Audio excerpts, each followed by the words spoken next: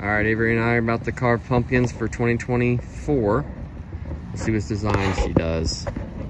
Oh, do you want me to tell? I did. I'm gonna do a star as the eyes, and then I'm gonna do a, uh, this mouth like as a jack o' lantern with teeth and stuff. Sounds like a good plan. Yeah, it looks good. Can you help me do my mouth? And Um, you want to see how I do mine first? yeah. There you go. I'd say bigger teeth, a little bit bigger. Just gonna trace it out. There you go.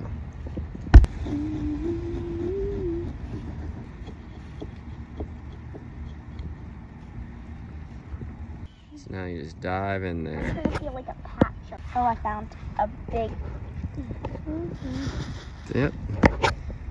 Get in there. I got some in my mouth. I don't even know how that's possible. There you go. Seeds go in there. We'll make those later. So we make two jack-o'-lanterns every year. We'll put the seeds in the oven and bake them later, and put them out tonight with the candle inside. I'm them. Yeah, you're just gotta filter the seeds through your hand. You want it nice and smooth like that so it don't dry out. Perfect. All right, let's start carving the face.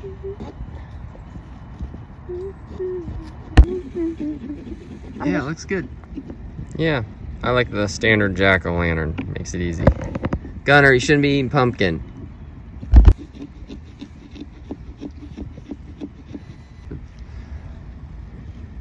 You got yourself a scary jack-o'-lantern. What?